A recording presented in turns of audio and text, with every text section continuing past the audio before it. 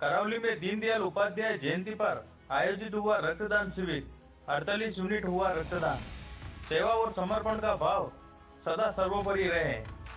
यह बात भाजपा जिला अध्यक्ष भवन सिंह पवार ने उद्बोधन के दौरान कही। पंडित दीनदयाल उपाध्याय जयंती के उपलक्ष्य में भाजपा उदयपुर देहात ओबीसी मोर्चा द्वारा करौली के प्राथमिक स्वास्थ्य केंद्र में रक्तदान शिविर का आयोजन किया गया।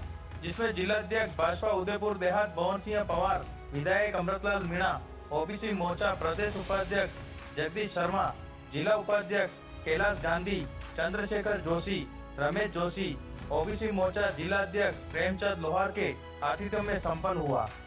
रक्तदाताओं का उत्साहवर्धन करते हुए जिलाध्यक्ष भवन सिंह पवार ने कहा है कि पीड़ित मानवता की सेवा के लिए भाजपा कार्यकर्ता सदैव अग्रसर रहा है।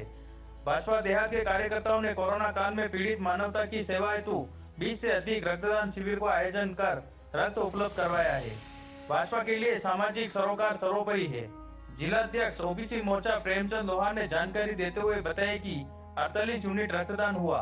इस अवसर पर उप प्रधान देवेंद्र सिंह, जिला महामंत्री किशन गुर्जर, जिला उपाध्यक्ष चुनीलाल कलाल, जिला मंत्री लालूराम पटेल भाजपा मंडल अध्यक्ष यशवंत त्रिवेदी पंकज चौबीसा भूरालाल पटेल, मोर्चा मंडल अध्यक्ष शंकरलाल पटेल, पन्नालाल सुथार रमेश उषा, एसटी मोर्चा जिला महामंत्री हजारीलाल मीणा, युवा मोर्चा मंडल अध्यक्ष प्रकाश पटेल आदि उपस्थित रहे.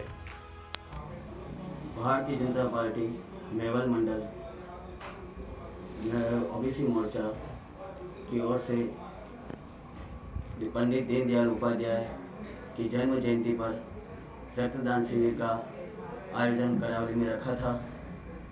और सलूमगढ़ नगर मंडल ओबीसी मोर्चा की तरफ़ से 11 यूनिट रक्तदान दिया था।